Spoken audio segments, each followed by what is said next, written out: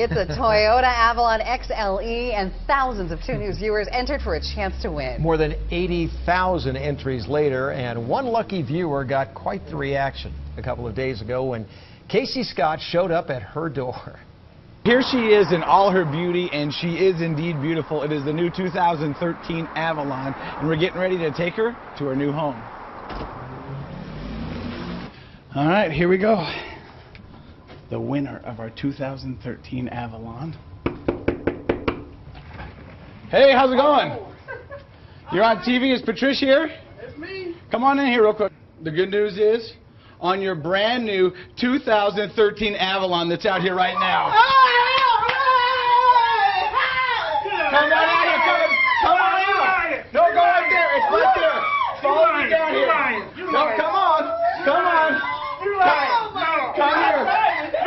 I'm not lying. That's right there, parked right Go look at that here. Come on. Oh my! How you feel? This is your brand new 2013 Avalon. God, oh. you're lying.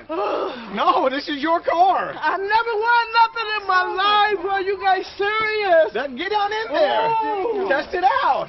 What do you do now? You sit back and enjoy your brand new Toyota Avalon. You know what? I think the best way to end this is with a family hug. Come on in, everybody. Come on in here. Get on in here. Nobody wants to be on the news. Oh, yeah, there you go. I don't believe it. Congratulations. Thank you. Thank You betcha. Thank Oh, you. She seems pretty excited, doesn't Yes, she? That would be pretty fun to find She out you want a deserves to be that car. excited. That's awesome. You get the Toyota Avalon and the bonus bear hug by Casey, Yes. too. Yeah. That's nice. That's not extra. That's standard. I don't know what was more surprising, seeing her reaction or Casey in the suit. I- yeah, exactly. Both equal.